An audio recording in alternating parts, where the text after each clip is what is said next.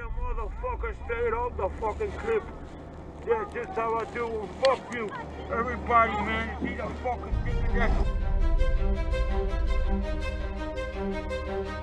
The K district is absolutely mental. I don't think my mother would let me go to work if she knew what I was dealing with every day. Any reason you have a hammer and a hatchet in the back of your car? Everyone move back. Move back now. My most favourite type of person to deal with is someone half mad. and I knew I was going to get all that in the K, like. Fucking they were wankers. We have a running joke that when you leave, you should get a medal.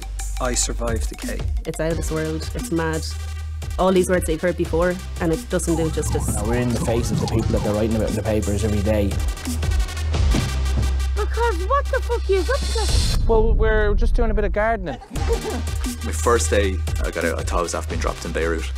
It is the Wild West. Like I went to one call one night and they were they had bow and arrows. They were firing arrows at each other. Before I ever came out here, I'd heard about the K district and that it was a mad spot. It absolutely is everything people have said that it is.